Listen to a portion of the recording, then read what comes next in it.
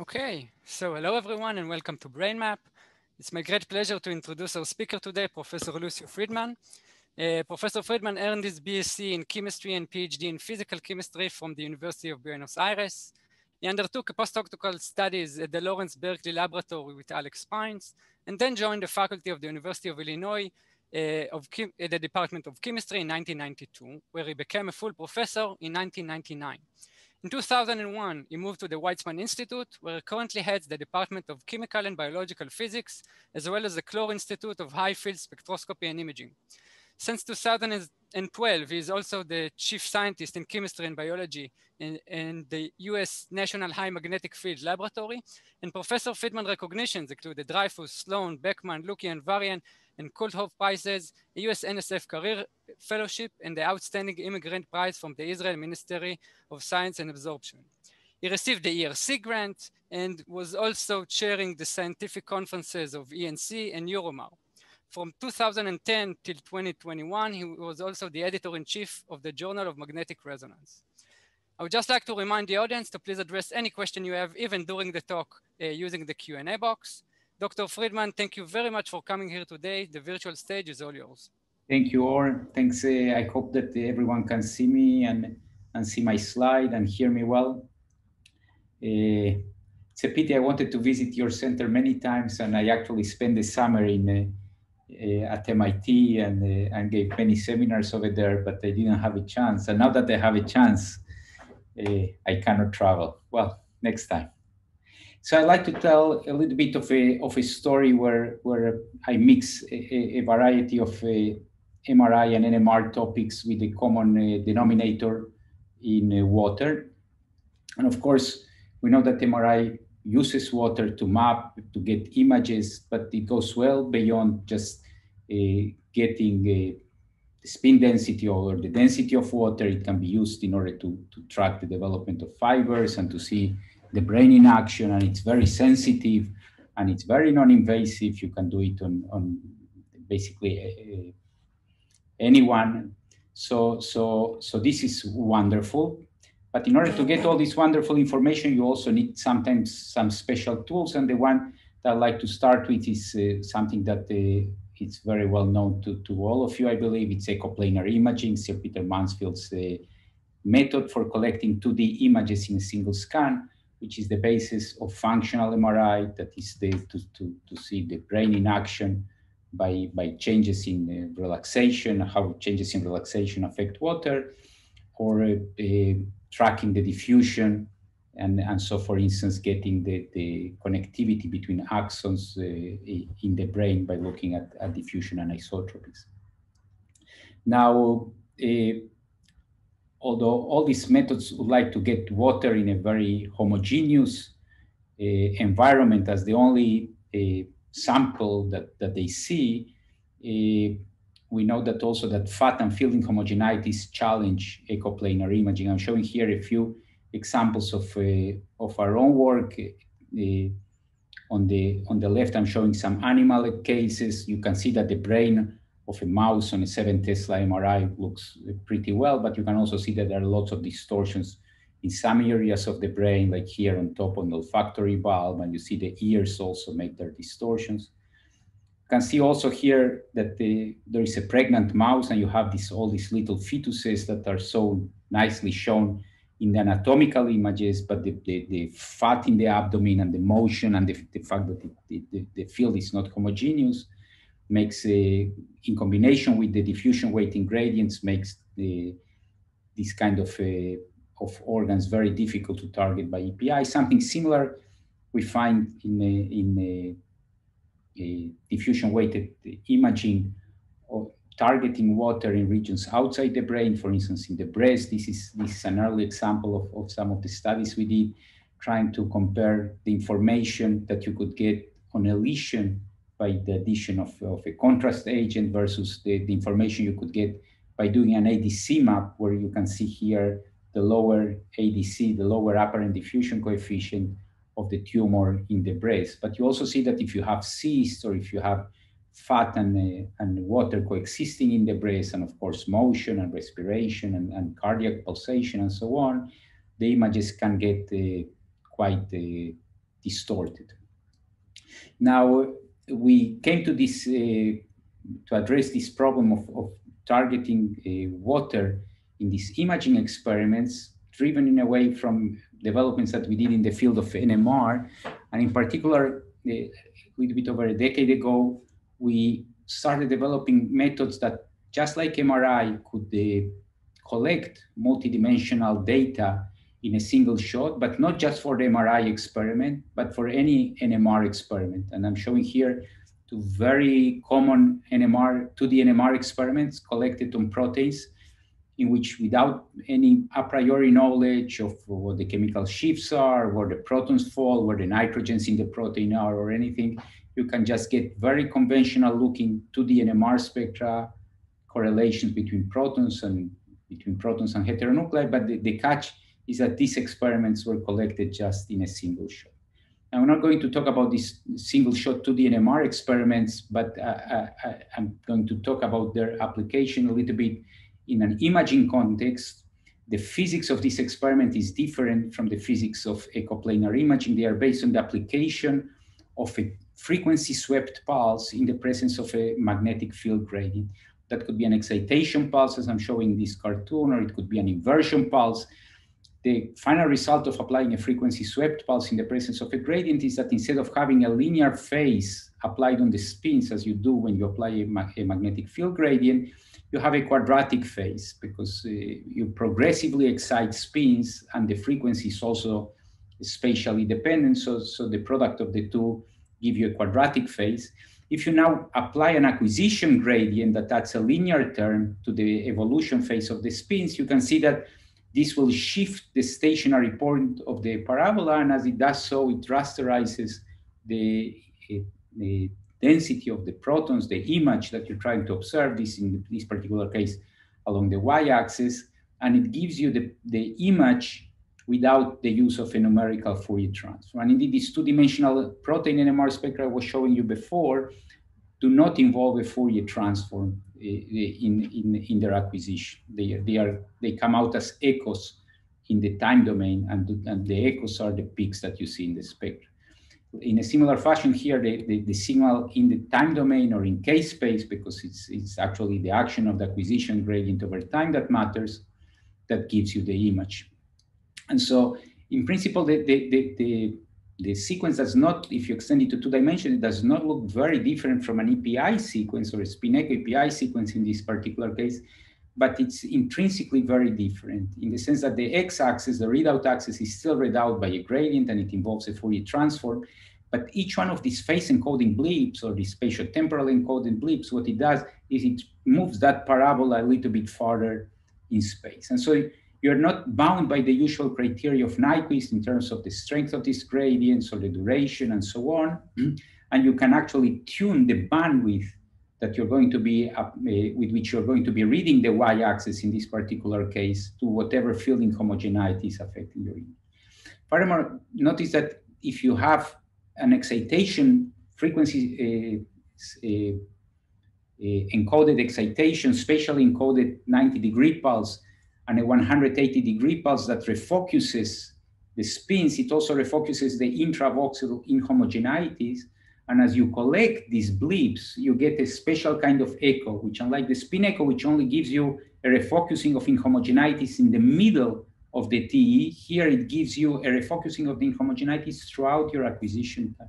We call that full refocusing, and that will improve the images uh, quite, quite a bit. And the other thing is, since you're not doing Fourier transform of the data, you, you can interleave data, you're directly collecting it in spatial space, so, so you, you don't have folding if you do data interleaving, and, and the, you can zoom without folding and, and other practical conveniences. Over the last few years, uh, last couple of years, we've, we've developed another spatial temporally encoded uh, strategy where instead of applying a parabola, we apply a, a, hyperbola to the phases of the spins. We call this cross-term SPEN.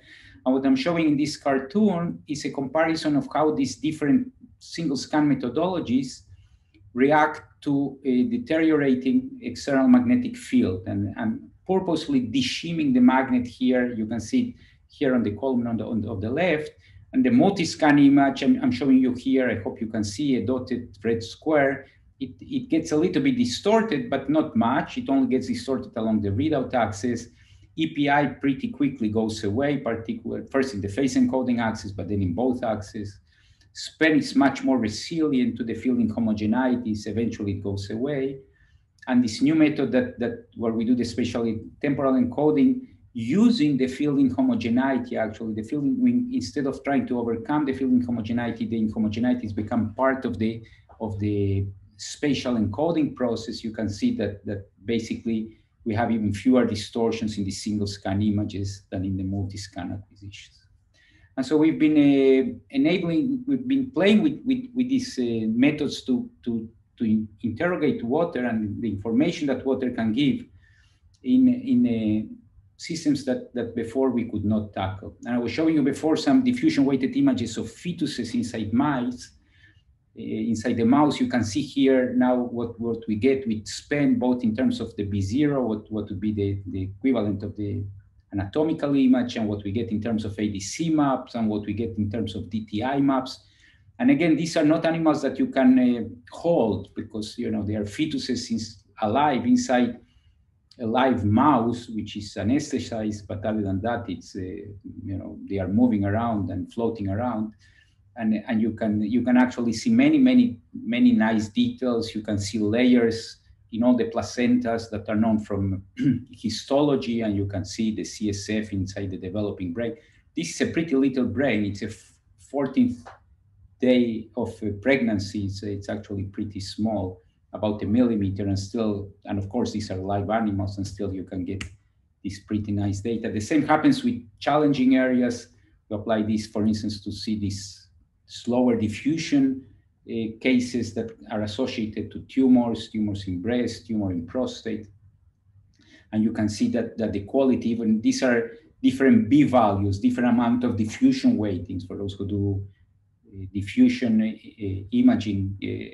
I tell you, these, these are values that go, the, the initial column is B0, and then we go from 800 to 1800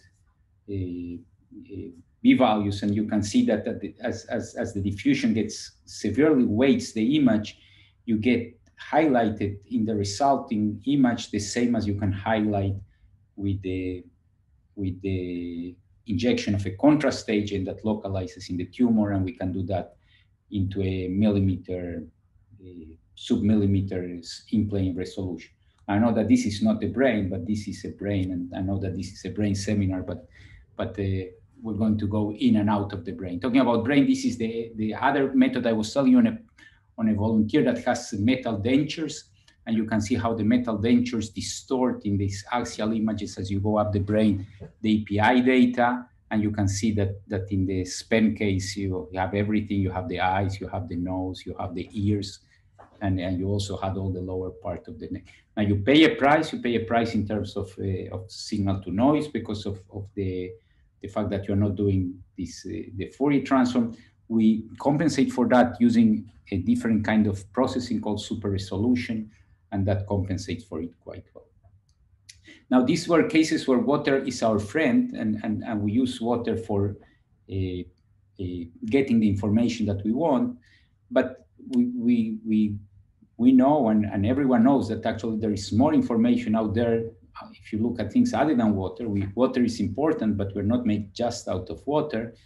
And unfortunately, water, when we're trying to, to look at NMR signatures inside, for instance, a brain, it's not necessarily a friend. It becomes a little bit more of a, of a foe because it's a huge signal and it complicates the observation of these little signals that uh, come from the metabolites. Now, uh, an important way in which you can still use the fact that water is uh, easy to observe and get some spectral signature from the metabolites is via the CEST experiment, chemical exchange saturation transfer. And the CEST is, is a very well-known experiment. It was developed by Bob Balaban and, and, and Peter Van Zijl and, and have uh, used it enormously. It's a field in and of itself. And I'm showing here some cartoon courtesy of uh, Nirbhay Yadav from Johns Hopkins that tells you how CEST works. You irradiate a particular chemical group that is labile, that means that it exchanges in, in an easy way with the solvent. And as it, it gets saturated, it, it uh, attenuates the, the signal of the solvent. And because the exchange happens relatively fast and the solvent doesn't forget that it, it's been saturated by this off resonance radio frequency pulse, you can see that you can saturate many protons and observe the signature of many protons uh, while you're only saturating one. And uh, this is uh, the, the amplification factor of CEST. And we, we hypothesize that if we were to repeat these experiments at high fields, this experiment would become uh, could become much better. And to become much better, of course, signal to noise gets better with field. But what's more important, the chemical shift separation between the site you're trying to saturate and the water that you observe becomes bigger. And as that separation becomes bigger, you can, first of all, you touch less the water. And second, you can uh, uh, accommodate a larger range of uh, chemical exchange rates. And they can be faster. And it turns out that the, the enhancement of this experiment is given by the product of the T1 of the water time the exchange rate. If you can accommodate say 1000 hertz exchange rates and your, your T1 also lengthens, the water's T1 also lengthens, lengthens supposedly with increasing field, and then, then you could have a, an enhancement in the magnification factor that becomes much better with field. And so uh, we, and I in particular, uh, you know, I'm associated with the high magnetic field lab, so I'm always looking I'm always looking for experiments where the improvements in the in the MR experiment does not just grow linearly with field because that doesn't pay much, but here we are expecting a supralinear uh, improvements. And so in, in, experiments that we did in the National Magnetic Field Lab, which is a international user facility where you can actually submit a project, get scanner time, and either bring your animal, send your animal, or have the magnet lab buy and, and, and feed and treat your animal. Uh, we've been uh, investigating that. And you can see this is what the CEST spectrum looks on, on, on the Magnet Labs uh, 21.1 Tesla system. Uh, these are different regions that correspond, say, to the corpus callosum and to gray matter. And, and you can see that there are fine, fine structure features. And of course, everything rides on, a, on the water self-saturation. When you put your offset of irradiation on zero, and zero for these people that do CEST means water. Uh, it's not the zero of your usual chemical shift scale. They put the, the zero at water. Then you get self-saturation of water. That's not very informative, and you get kind of a Lorentzian line.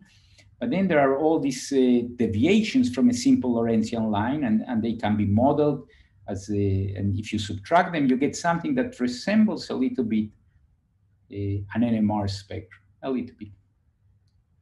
And so we, we investigate how do these experiments look uh, at 900 megahertz. And the, what I'm showing you here are the symmetries between these, these two traces I was showing you here, between, say, the, the plus 3 ppm irradiation and the minus 3 ppm irradiation on, a, on the brain of a rat, which has been, uh, in which we've injected the gliomal cells that develop pretty quickly into a tumor. And you do not see the tumor easily in the anatomical images, but you see that the tumors quite easily in the asymmetry of these shapes. Say if you look at them at 4 per, at 4.5 ppm, 4 ppm, 3.5 ppm is the strongest. You can even see them a, a week after, after implantation. and this is consistent with what the other people have seen in terms of, of detecting gliomas in brain using CEST. The only difference is that most of the reports over the, that have been done in the literature, they give contrast in the order of a you know, couple of percent. And here the contrast exceeds 10%. So indeed, it's, it's the same contrast that you'd see at lower field, but magnified by the effect of the high magnetic field. Now, if you subtract that self-saturation I was showing you before, then you don't get much difference between the normal tissue and the glioma. So it's not really in the, in the metabolite part that is that you see the difference. The big difference comes when you compare the baseline. You know, you take you take uh, the baseline. That means uh, the, the, the what what is left after you subtracted the water self-saturation. If you compare what happens downfield from water and upfield from water, you see that there is a huge difference. Uh, the normal tissue gives you a very large contrast here shown in, in green. And when the glioma comes in, that contrast goes down a lot. And that, the reason for that is that, that the, the experiment that I showed you that uh, with that cartoon is actually more complicated than what that cartoon uh, explains. And, and this is very nicely explained also in this paper of uh, Van Zijl and co-workers, which show that there is indeed this direct contribution of the exchanging amines and, and hydroxyl groups and, and groups in the proteins and, and, and so on with the water. But there is also an indirect effect that comes from cross-relaxation of groups like CHs that do not exchange with water, but they are cross-relaxing uh, with water, with the Labile, the Labile protons that you're saturating. And so if you, if you saturate the CH, it's also the case that the NH changes, and that when that exchanges with the water, you see the signature of the CH in the water. And there is, to complicate matters even more, there is a third contribution which looks solid-like. You see, it's this, uh, what's called the magnetization transfer contribution, which comes not from small molecules or rapidly moving molecules, it comes from this semi-solid matrix that you don't usually see. And that semi-solid matrix, in some way, it's also communicating with the water and so it is that semi-solid matrix that the, the, magnetization transfer, you can see here how dramatically changes uh, in the region that has the tumor cells implanted. It just goes away.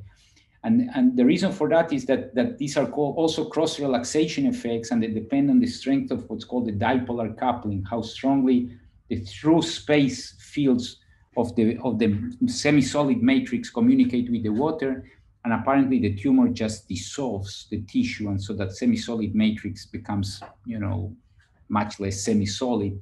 And so the efficiency of this cross cross relaxation uh, goes down and that's why you go from this green impact on the water to this red impact.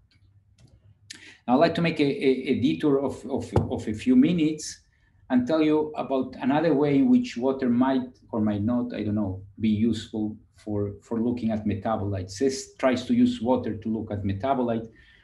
There is uh, there are many ways out there, and, and many people are searching for new ways of, of, of looking at metabolism. And this is a wonderful breakthrough that, that comes from uh, Wei Chen that I'm illustrating here with data coming from, from uh, Robin de Graaf and co-workers uh, at Yale which uh, realized that today the sensitivity of MR is, is good enough. And again, this is something that you know high fields could have a, a very nice role to play. That uh, you could envision looking at the imaging, not just looking, because that had been done before by, by Ackerman and by others, uh, by Joe Ackerman and others, you could envision not just looking, but imaging the distribution of deuterated compounds by spectroscopic imaging. And they realized that if you inject deuterated glucose, that could become lactate uh, as well as, as a glutamine and other metabolites. And that could allow you to see metabolism coming from the glucose. And I'm showing here the same, when we saw this, we, we, we jumped to the opportunity and then we use the fact that we also have a high field machine to put together a double resonance configuration and we started injecting glucose. When the glucose is uniformly uh, enriched, the spectra are not so clear, but it is true that when the, the glucose is just enriching one of the carbons, spectra becomes simpler and you go from this red spectrum here, for, for this is a, a naive uh, mouse uh, brain deuterium spectrum, you go from this uh, red trace, which only has the signal of the natural abundance water, which is a wonderful thing you have to have because that gives you a 10 millimolar absolute concentration ruler, uh, give or take uh, a couple of millimolars that, that you can use to quantify metabolic rates and so on and metabolic concentration. But you see that when you inject the deuterated glucose after a few minutes, you have an increase in the water signal and you have had, had been uh, observed in these other studies, the appearance of, of this GLX and the lactate peak, the methyl lactate peak. And uh, I was showing you earlier a few uh, fetal studies, and fetal metabolism is, is very important, and, and abnormalities in pregnancies also affect uh, the metabolism, not just of the fetus, but also of the placenta. And again, this is one of these animals where you see the kidneys And you see these fetoplacental units here, including a spine of a fetus. P is the placenta here, it shows quite dark. And it's interesting that if you inject a, a deuterated glucose into an, a naive animal, you don't see any lactate made. It just goes to the, the glucose goes into the kidney, it goes into the bladder, and, and the HDO grows. But here, if you have actually a growth, and this is some, it's not cancer, but it's also something that is metabolically very active, you see how nicely uh, the pregnant animals uh, develop this lactate peak. Of course, the lactate peak is pretty small. I'm showing here the concentration in millimolar. Lactate is here magnified by five, so it's it's uh, it's in the order of between five and 10 millimolar only, whereas the glucose and water are are much more concentrated. But it, the other thing that is interesting is that water is not spread out uniformly throughout the, the abdomen either. It also seems to be concentrated in the placenta. Uh, here I'm showing a, a, sum over a time trace, and you see also the, the lactate arising from the fetoplacental unit, but also the, the water. This is another case that, that we're looking at, uh, concerns pancreatic cancer. Again, you see very nicely, you inject glucose. Initially, you have the HDO peak, you inject glucose, you see the water goes up by a lot, but you also have this very nice uh, peak of lactate. If you look where the lactate is, again, the lactate is concentrated only where the tumor is. But the funny thing is the water also seems to be concentrated in the same area. Here you have another case, it's a different animal. Uh, again, you see the lactate concentrated in the tumor. And if I raise the, the color map of the, you see here the the concentrations uh, in millimolar here in this color map, if you raise the color map, you see that the, the water is also not diffused all over the place. Actually, it's concentrated in the same place as the lactate. So this is something we don't understand. Uh, we, we understand that water is reflected metabolism, the TCA cycle. We're not exactly sure why is it that we don't see uniformly diffused over the animals. It seems uh, perhaps there is something related to water also in these experiments.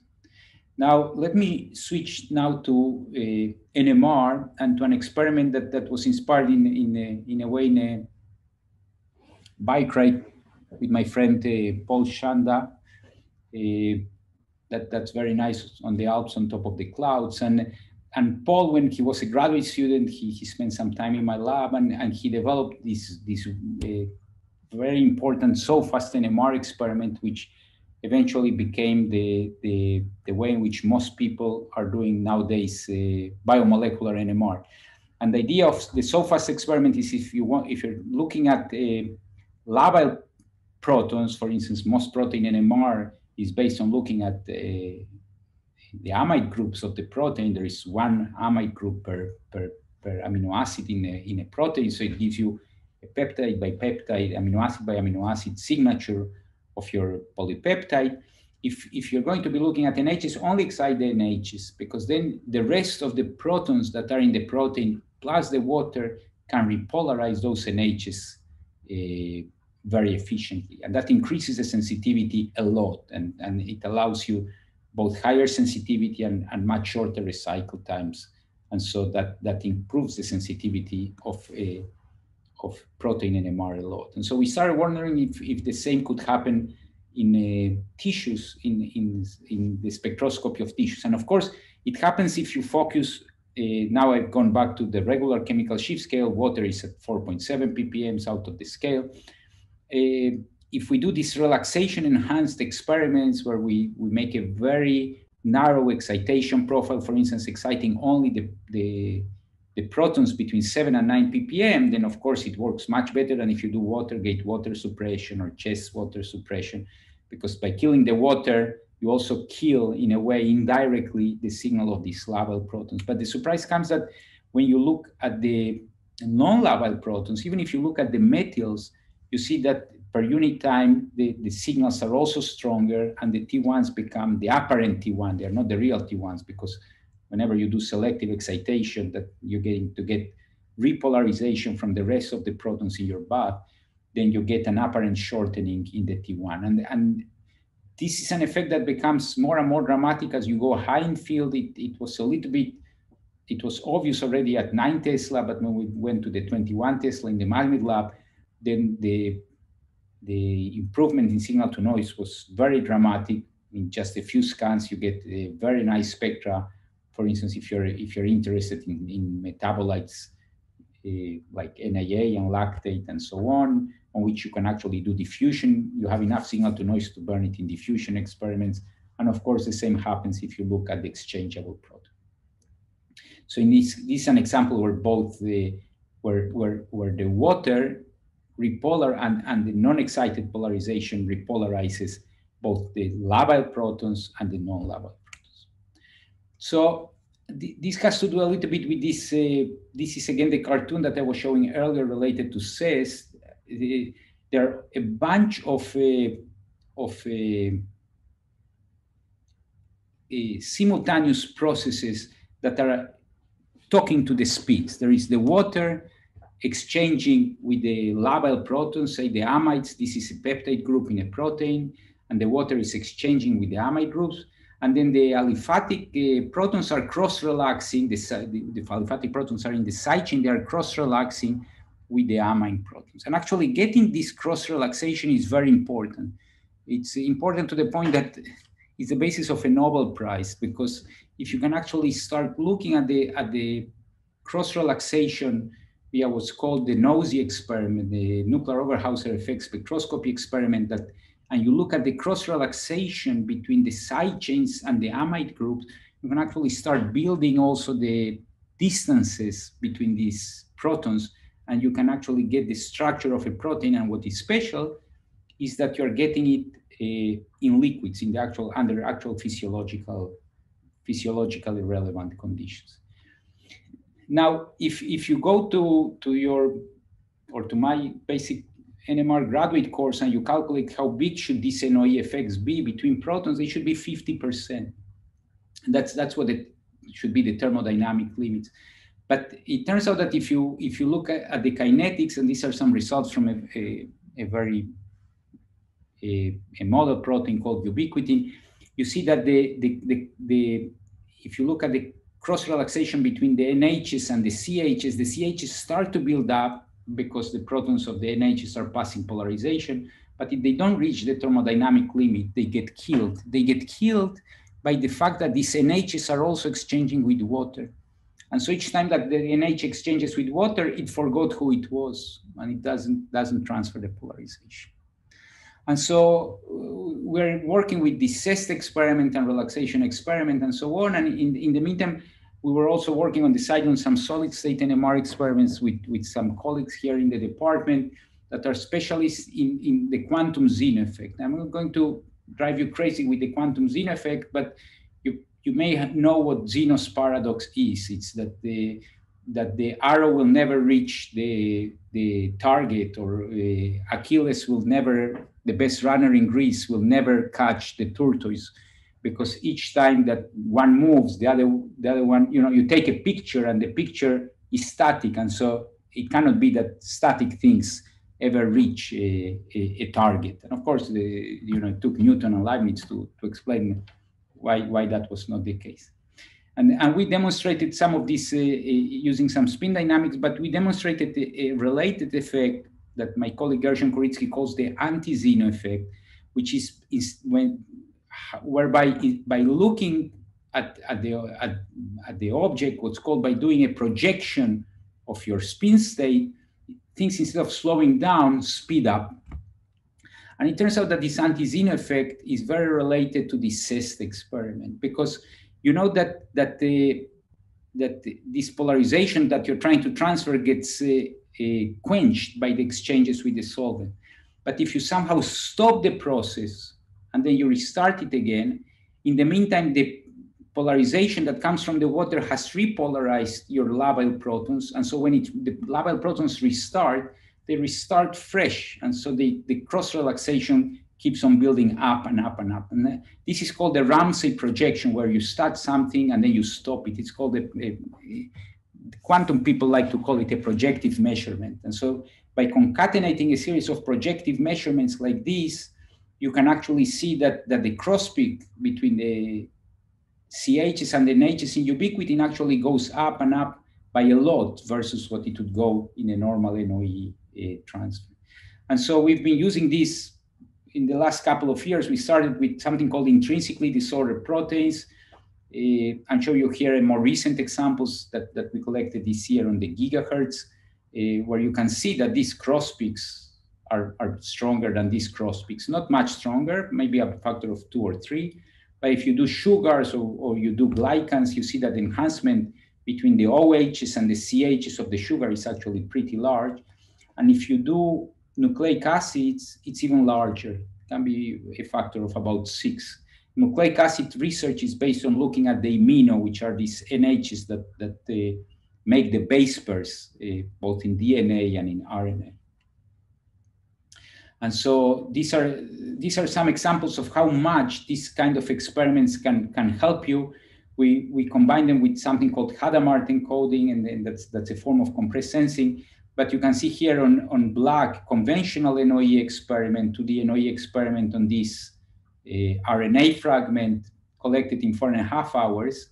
These tall peaks are the diagonal and the little peaks are the cross peaks that actually carry the structural information. And you, show, you see here in red what we get in 24 minutes. You can also compare here these two different experiments. And we started doing this a year ago. We were doing this experiment a year ago, and I was talking now with Or, and uh, in the same way as you guys were shut down when in May or, or something like that, we were shut down in March uh, because of this coronavirus, unless you were doing some corona related research. And it turns out that the, these experiments work wonderfully in the fragments of RNA of corona. And so if you translate the signal to noise gains into uh, lengths of the experiments, you can see that you can go from a conventional experiment that in a couple of days looks like this uh, Eh, to a NOESY experiment that in a, an hour and a half looks like this. And these are, of course, these are these are traces. The, the blue, the green, and the red are different traces, and the, the cross peaks are the information that you're looking for. And so, so this has been uh, this allowed us to reopen the lab, and that that was quite nice. And the, I, I still want to stress the the the the fact that this is a little bit related to CEST in the sense that it's not now that, that you're pulsing on the NH and you're looking at the water, but you're pulsing on the NH and the NH is losing all its money, but the water keeps on repolarizing it. And so in the end, it can pass a lot of information on the CH. So the NH acts like a valve in passing the, the, the information from the water to the non-labile protons. And the, the, I showed you this for what's called homonuclear correlation experiments, where we're correlating a, a proton with proton dimensions. It, it, the same tricks can work on heteronuclear experiments. You can use the water and actually bring out peaks, like like like some of these uh, uridine peaks in this in this uh, COVID fragment that would otherwise be lost in the noise. Okay. In fact, you can go even a step farther and you can play the same kind of tricks to detect not just non-labile protons, not non-labile carbons. This is a, a spectrum of glucose, honest to God spectrum of glucose detected on the water signal, not on, not on the carbons themselves. Okay, so in the last uh, five minutes, I'd like to, to, to tell you about something else. And I have to talk about nuclear hyperpolarization because everyone is doing nuclear hyperpolarization. And so we're talking about water and what what could the dynamic nuclear polarization do for us? And first of all, you probably know what DNP is. DNP is, is a low temperature experiment where you pass polarization from in a cryogenic pellet from an electron to surrounding nuclei by saturating the, the electron. You you you look uh, the electron Larmor frequency plus minus the, the nuclear Larmor frequency. One gives you plus enhancement, the other one gives you minus enhancement. But of course, you're not interested in doing perhaps this at one Kelvin. So you suddenly, this is the idea of, of, a, of uh, a Ardenkjaer-Larsen, and Golman, you suddenly dissolve the signal. And for a time T1 or a couple of T1s, you have a super signal where instead of looking at 10 ppm polarizations, you look at 10% polarization. And so that, that, that is used, and we use that too. I'm showing here another example of this pancreatic cancer model where you can clearly see the, the concentration of the lactate in the tumor to highlight metabolism and so on. Now, could we use that to do proteins as well? And the, the, the answer is no, because the, the sample has to jump from the hyperpolarizer to the NMR to the MRI. And if you, if you look at the BPP the relaxation theory in 1948, you see that the dependence of T1 with magnetic field strength for something that tumbles in the order of a nanosecond, the correlation time of in the order of a nanosecond, the T1 just goes into the millisecond, so sub-millisecond. So in the transfer, even if the transfer takes only a second, you lost everything. And so, oops, that's not good. I'm sorry. So I, I destroyed the slide. Okay, so what we started doing, I, I, just tell you with words, is since we cannot port the large molecule, we will port the small molecule, and the small molecule will be water. What we do is we hyperpolarize the water. We call this hyper W. We hyperpolarize the water, and the, the protein is waiting in a tube, or, or the biomolecule is waiting in a tube. We also did it on animals, where we injected the hyperpolarized water in animals. But in general, what I'm going to show you is the water is waiting in a tube and then the water comes in and these labile protons of the water exchange with the, uh, this, uh, the protons of the water exchange with the labile protons of the biomolecule. And the, this is an example of what you see if you use a conventional uh, protein. This is a model protein, Barstar, that even us, uh, even we can do, we can uh, synthesize. And you, you get enhancements. You can see here the enhancements that you get on the peaks. We look at the peaks by 2D NMR because 1D NMR it's it's uh, very crowded and, and the water lasts for long enough polarized that of course we don't touch it. We only pulse like like Paul Schanda taught, taught us in the SOFAST experiment. We only uh, pulse on the seven to nine ppm region, and uh, you can see that that the spectra are indeed polarized by a lot. The signal enhancements go between 10 and 100, but you also see that the enhancements are not uniform. And enhancements map one to one the facility with which the individual amide groups in the protein exchange with the water. So it's a, it's a, it's a reverse test in a way. Instead of looking at the water, the water comes hyperpolarized. It hyperpolarizes the sites, provided that the sites uh, exchange rapidly with the water. Uh, and we measure that using a CLEANEX experiment where we kill all the protons in the protein. We wait for 40 milliseconds. Only those that repolarize from the water got the got enhanced. Of course, these are two very different experiments. What I'm showing you, the hyper W experiment, the hyperpolarized experiment is a 36, 30 second long experiment. And what I'm showing you in the CLEANEX is something like 48 hours long. So the, the timescales of the experiments are, are very different. And it, again, it works very well with RNAs. It, it gives you even larger enhancements. Life with RNAs turns out to be very comfortable because the aminos, these aminos that uh, also in DNA that make the base pairs, they are very far away from water.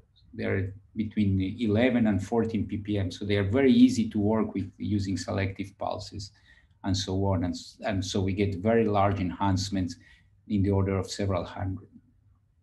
And by the way, the concentration of all these molecules is pretty small. It's in the order of 100 micromolar. but then we did one experiment too many, and the, it's an experiment on a, on a complicated molecule in the sense that this is a protein. Uh, it, it, it, it, comes out from something that's called a, a GPCR, a receptor, a membrane protein receptor. It's a, it's a molecule where it coexists folded and unfolded forms at the same time. And uh, of course, we are expecting to enhance the unfolded form, which is open like a spaghetti and exchanging with the water much more than the folded form. And it turns out that when you look at the enhancements of the folded form, you can see that because you can check them residue by residue, they end up being uh, about between five and 10 times bigger than the unfolded form. And so this is something that, that we're also struggling to understand uh, what is it that we see. Okay, so this brings me to the end. I started with some imaging experiments, and this I think you also know water when you look at water, you have a wonderful reporter of microscopic structure. If you if you combine it with CEST, you start seeing metabolites. If, perhaps with deuterium, you can also see using use the water to see metabolism, and then there are different sides to this coin of the exchange between the water and the metabolites. You can look from the metabolites towards the water, but you can also use the water to repolarize the metabolite, get better signal to noise if you don't touch the water, and get much better signal to noise if you hyperpolarize water. But I also think I showed you that, that we don't understand 100% of the things that we see, and that's part of, of the, the fun of it. So let me, uh, I'd like to end by acknowledging my collaborators. I think I mentioned, or you may have seen the names of some, of course, the people in the Magnet Lab, Jens Rosenberg, all the breast cancer work we do in collaboration and the prostate cancer work we do in collaboration with Sheba, which is a big hospital not too far from us. The placenta, we, we do the work with our colleague Michal Neeman, and the pancreatic cancer is with a colleague uh, Avigdor also at the Institute. RNA with Harald Schwalbe from uh, Frankfurt, and the protein work we do together with Rina Rosenzweig. This is our anti-Zeno guru, uh, Gershon Kurizki, and Eriks Kupče, with whom we have a long-standing collaboration. I'd like to thank my group, but you know this is the picture that uh, I could show you now from my group, but I don't want to show you this. I'd rather show you this one from times uh, where we would get together and, and have dinner at home and I'm showing you here the, the work, the deuterium work uh, from Stefan and the, the SPEN work from Jinja Odelia and Martins and Zihong, the hyperpolarized work from Greg and Orr, and then some other people that uh, uh, whose work I didn't mention. and I'd like to, to conclude with a little bit of advertisement. In the last couple of years, we've really begun an MR fest. I showed some of it. I showed you the, the work from the gigahertz, from the 15 Tesla animal machine, from the hyperpolarizers that some of them we built and some of them we buy. And the, we have now a seven Tesla working. And of course, I'm not the only one that, that works on magnetic resonance. I have lots of colleagues. And, and the most important thing is that over the last four years, we've hired three colleagues and we're still hiring and we're still looking for, for people to join each one of these. It's, uh, of course, an independent PI. Uh, like to thank my funding sources for the imaging and for the spectroscopy and for the Human Placenta Project and the Thomson Foundation for, uh, for uh, pancreatic cancer. We're looking for uh, uh, people that like to do these kind of things. We're interface some quantum mechanics and instrumentation, image and data processing, and uh, try to bring it all together for COVID, placenta, cancer, basic studies, whatever whatever interests you. We are we are looking for uh, victims to join us. I'd like to stop by thanking you with uh, a little bit of MRI. Thank you. Great. Thank you very much, Professor Frydman, for this great talk. We now move to the Q&A phase. Uh, we have our first question from Chris. Chris, can you unmute yourself? Yeah. a really nice talk, Lucio. I really enjoyed it. I, I have one question about the, the CEST experiments with the semi-solid component that was decreased in the tumors. Mm -hmm. Do you mm-hmm. have any ideas on what's different is the lipid composition, the fluidity, or the exchange rates? What's different in? Well, we are uh, we are we are actively trying to look at it. Let me see. I have some uh, uh, backup slides on this. Let me see if, if any of them is uh, is relevant. You know, we we you know, we we we we try to to distinguish them by multidimensional NMR. Uh, I, I, don't think I have the slides here, but we're, we're trying to answer the question by multidimensional NMR. Uh, and, and we definitely see lots of, of, uh, of things that have to do with proteins and of lipids but uh, but I cannot give you at the moment a, a, one-to-one answer. Okay. Yeah, we're we've seen sort of very well, somewhat similar changes in our assessed fingerprinting, looking at the concentrations and exchange rates, where we see it decreased in in tumors. And, but we're quite not not quite sure how to explain it ourselves yet. Uh, yeah, what exactly it is that's causing. What we're doing is we're doing ex vivo multidimensional experiments. That's that's the way we're trying to to answer it at the moment. Okay. And try to see if uh, if you know we we we do these uh, uh, Wex filters, and we try to see, and we, and we see this magnetization transfer component uh, changing, and then we try to see two decorrelations of that magnetization transfer component with anything else. And uh, but but so far, first it's ex vivo because these are longer experiments, and the and we do them at high fields as well. And uh, but the answer is still not univocal. Okay, thanks. Great. Uh, next question from Bruce. Hey there. Um, first, that was a fantastic talk. Uh, I, I, enjoyed it, uh, although I admit I don't understand uh, all of what I just heard, but uh, plenty uh, of uh, things for me to think about, and certainly generally reinforces an impression I've had for many, many years, which is even a small signal on top of an 80 molar, you know, water signal, uh, you know, can often beat a, a, much larger uh, change in a very much smaller uh, signal you're looking at. So uh, uh, I, I, love the focus on water. It's, you know, one of the few molecules I would pretend to understand, but you've certainly shown some data that suggests otherwise. Right. whenever, whenever we think we understand what we're doing, then one we do one experiment too many, and then yeah, I love I love that. I, I was uh, especially drawn to the um, uh, your uh, experience with the deuterated uh, glucose and the kind of spatial persistence uh, of the um, what presumably is that you know deuterated water as a result from that. Exactly. Um, you know, first, is there any chance that um, uh, the deuterium has found itself to some other you know molecule that uh, you know, would be uh, indistinguishable based on, uh, you know, uh, the spectral characteristics. So and, to, not, and if not, like what else that we would think about that, uh, you know. So, um, so two things to point out is one is notice these, these are minutes. So these are really long time scales. Yeah. So what we are doing at the moment and I don't know if we're wasting scanner time or not because signal to noise is not with us, is we're doing something called double quantum filter experiments.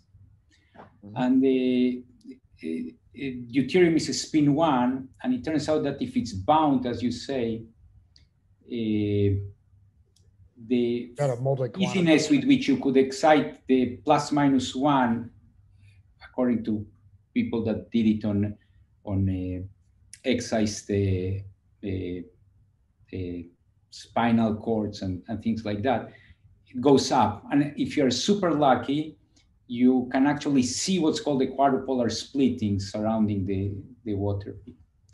So we're trying to do that in vivo. it's hard. Signal to noise is uh, is uh, still not with us, even at 15 Tesla. But we're that, that we're trying. So I, I think it's a I think it's an excellent question. If it would all be seen in the bladder or something like that, then I know it's the water washing away. But because because of this persistence. No, I mean, and and of course, you know, the water is generated in the mitochondria specifically.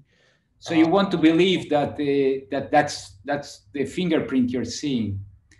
Some some mitochondrial interesting mitochondrial biophysics, uh, and and that would be super interesting. Exactly. And, and, very relevant to be able to measure it. I, I think it's a great observation and uh, and uh, eventually, if you uh, let me see if I can slide my if I can go back. Uh, eventually, uh, the water peak becomes real, by far the easiest one to observe.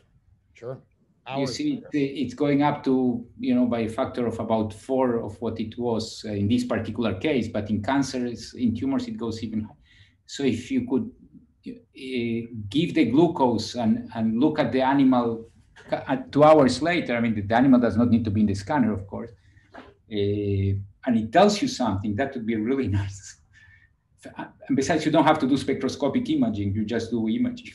No, exactly. And, and can then do other things like measure the relaxation properties. Uh, uh, it, you know, the fact that it may be related to, uh, you know, the origin of where it's coming from, you know, mitochondrial, you know, ultrastructure uh, is, is a super interesting uh, domain to pursue. And there's certainly reasons to think that would be different in tumors and in other disease states. It would be, you know, fascinating to be able to pursue this as a as a way to interrogate, you know, mitochondrial biophysics uh, in, a, and to me, a novel way.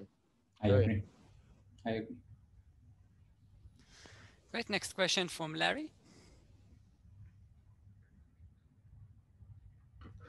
Uh, thanks, Lucio. That was a great talk again. Uh, and next time you're in Boston, be sure don't slip don't slip by. I was supposed to give the wall lecture last November or whenever, but you know, it all went up in flames. Uh, uh, so. Okay, well, definitely let us know next time.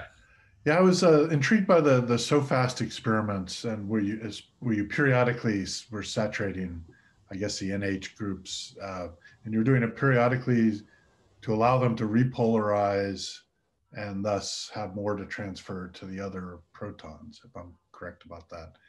And um, I was just wondering what the T1 of those groups are and if there was any benefit. If T1 is much longer than T2, there might be a benefit of doing a selective flip back pulse to achieve that same effect, but but faster, cycle it faster, or okay. even an enhanced radiation damping repolarization. So in in these particular experiments, we are uh, think that's why I'm showing showing it in the gigahertz a, a little bit.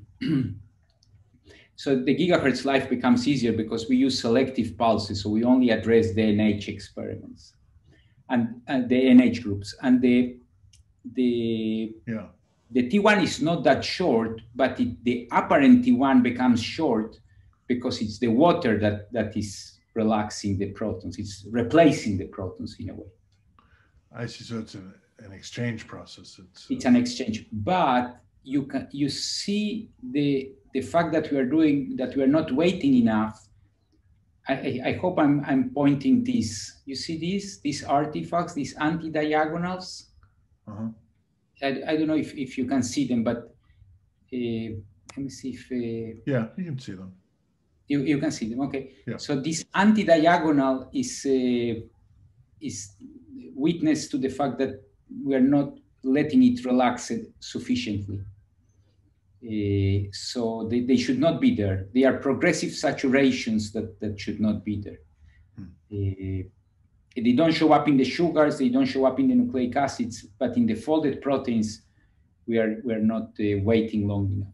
Now, the truth is that you can do the same trick without the water if you take a paramagnetic label bound to ubiquitin. And then you have these paramagnetic shifted residues that relax very fast. And they never, they've never been seen to build any cross relaxation with the rest of the protein simply because the paramagnetic center relaxes them.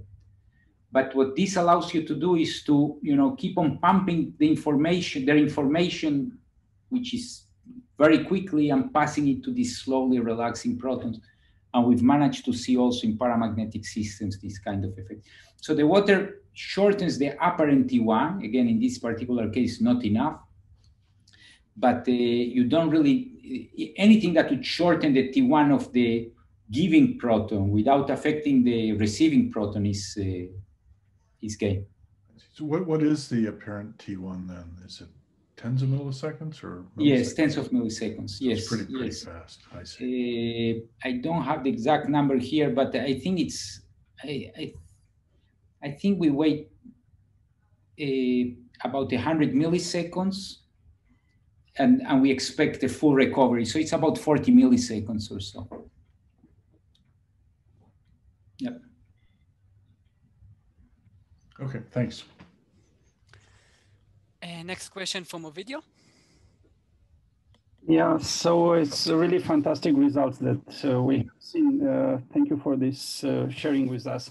Uh, so I would uh, like to ask you, like, um, if you, for people that are interested to translate uh, such methods into humans with clinical scanners, there are some limitations compared to the performance of clinical scanners versus animal scanners in terms of the RF pulses that you can play, um, B1, uh, like B1 max and voltages that you can reach and the duration and the SAR that you can play. Um, and especially for relaxation enhanced MRS uh, experiments or the uh, cross um, the cross span mm -hmm.